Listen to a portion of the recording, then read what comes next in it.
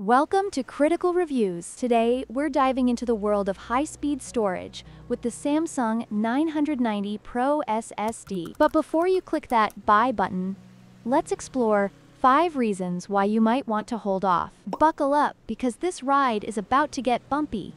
First up, let's talk about price. At around $249 for the 2 terabytes model, the Samsung 990 Pro is not exactly pocket change. Sure, it boasts impressive speeds of up to 7,450 megabytes per second, but is it really worth the splurge when there are other options that might give you similar performance for less? Think about it.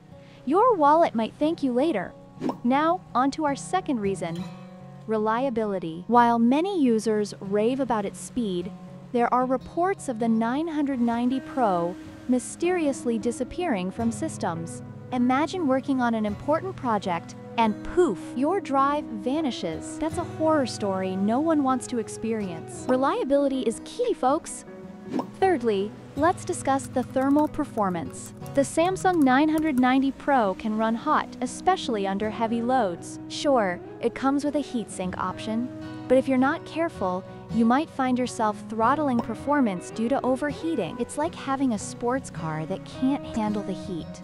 Frustrating, right? Fourth reason, firmware issues. Some users have reported problems with Samsung's Magician software, which is supposed to help manage and optimize the drive. If the software doesn't work as intended, you might be left in the dark about your drive's health. It's like having a fancy car with a broken dashboard. You just can't tell if you're running on fumes.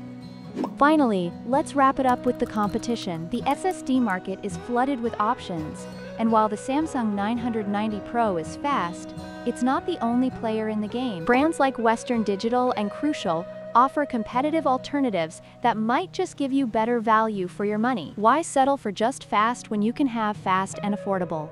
So there you have it, 5 reasons to think twice before buying the Samsung 990 Pro SSD. It's a powerful drive, but with a hefty price tag and some reliability concerns, you might want to explore your options. Thanks for tuning in to Critical Reviews, and don't forget to like and subscribe for more tech insights.